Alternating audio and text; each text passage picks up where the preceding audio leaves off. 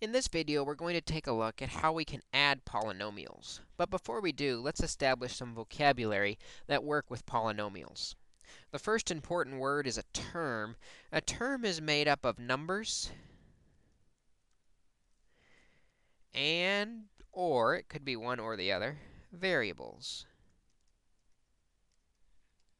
multiplied together. For example, ab squared is a term that's all multiplied together. Even 5x would be a term. Negative 7 would also be a term because there's either just variables and numbers multiplied together, one or the other. And based on the number of terms that are in an expression, we could assign a name. For example, a monomial is made up of one term. So maybe 5x squared, one term. A binomial with the prefix bi means two terms. And the way terms are separated is with either an addition or a subtraction sign. So we might see a squared minus b squared. These two terms are separated by the minus. A trinomial, then, with the prefix tri, means three terms. For example, ax squared plus bx plus c.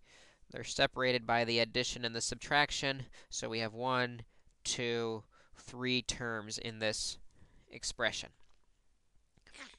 A polynomial, poly means many, is made up of many terms. And actually, polynomial is kind of the blanket term that covers all of these.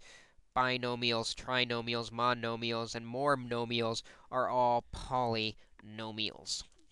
And a good example of something with many terms might be ax squared plus by squared plus cx plus dy plus exy plus f. There's many terms in that, many parts. And depending on what we want to do with polynomials, we can simplify them in different ways. One thing we might want to do is add polynomials. And adding polynomials simply consists of combining like terms, which is something that we've seen before.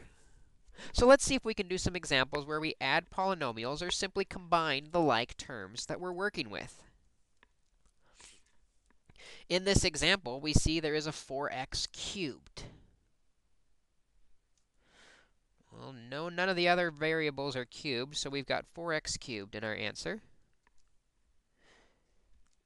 Then we see negative 2x squared, which can be combined with the negative 3x squared. Because they're like terms, both with x squared gives us negative 5 of these x squareds. We also see a plus x, which can be combined with the negative 5x, giving us negative 4x's, because we always assume there's a 1 in front of the x. The last term that hasn't been combined yet is the plus 7, nothing to combine it with, so we'll put plus 7 at the end of our answer, and this becomes our simplified polynomial. Notice as we added the polynomials together, the numbers up front, the coefficients changed because we are adding them together, but the exponents did not change. With adding and subtracting, you will not see exponents changing. Exponents will stay the same. So for example, when we look at this next problem, if we're looking for like terms, we'll see the first term on here is a 3ab cubed. There's another ab cubed with the negative 2. 3 and negative 2 gives 1, ab cubed, and we don't need to write the 1.